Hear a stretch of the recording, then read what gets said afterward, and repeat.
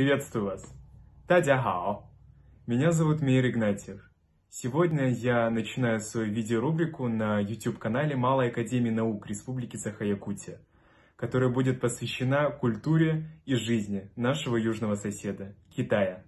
Название для своей рубрики я выбрал следующее – «Нова Нависима Синика» в честь великого немецкого ученого Готфрида Вильгейма Лейбница, который выпускал журнал о Китае.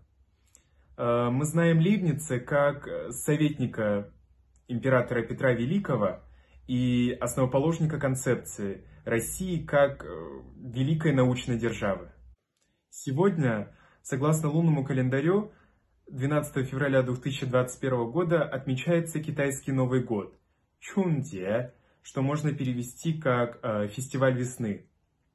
Это самый важный праздник для китайской культуры, и история ее появления описана в очень доброй китайской легенде – по которой ежегодно жители деревни подвергались чудовищной атаке э, одного чудовища по имени Нянь, что, кстати, в современном китайском можно перевести как э, год.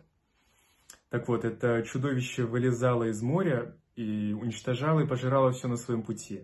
Жители деревни, собравшиеся семьей, прятались по домам, но в один миг они решили выйти.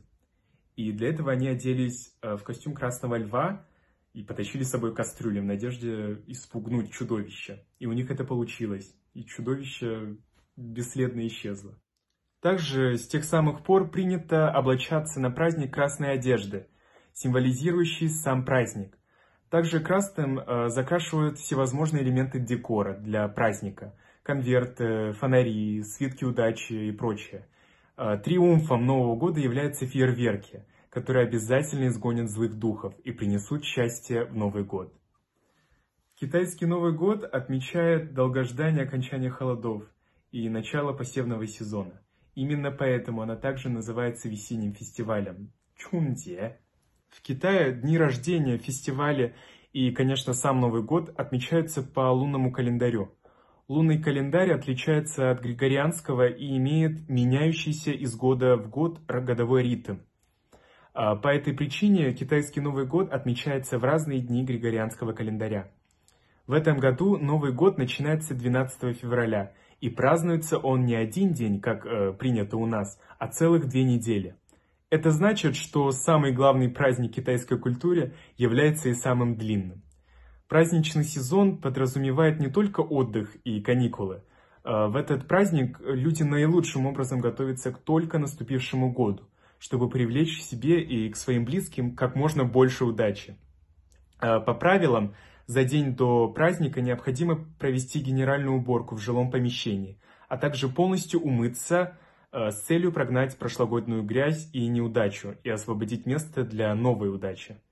Также можно выбросить ненужные вещи, обычно это бывает одежда. Крайне важно не совершать подобные уборки в день праздника и ближайшие дни после Нового года, иначе можно попрощаться с вновь прибывшей удачей и счастьем.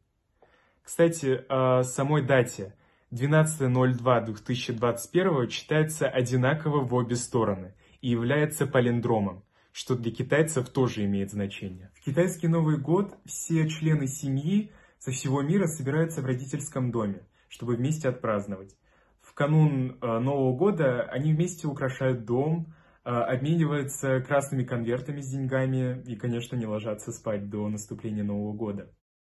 На юге Китая существует особенный обычай – ха-фа-га, что можно перевести э, с кантонского языка как «проход по цветочной улице».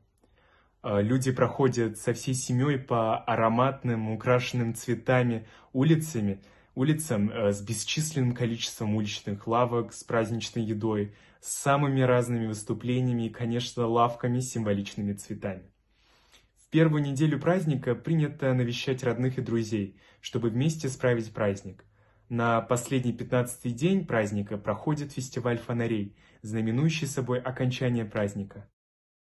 Как можно заметить, китайский Новый год невероятно обширен. Можно очень много попробовать, э, есть очень много, что можно отметить. А поздравить своих китайских друзей можно следующими фразами. «Ню Чуан Тен Кун» — это пожелание перевернуть весь негатив обратно, чтобы встретить новый прекрасный мир. А, в данном пожелании иероглиф «бык» — «ню» и глагол «перевернуть» – «нёу» произносятся абсолютно одинаково. Из этого получается такая игра слов. «Нёу-ти чонг это пожелание энергии ци быка, чтобы с такой мощной энергией можно было дотянуться хоть до самых небес.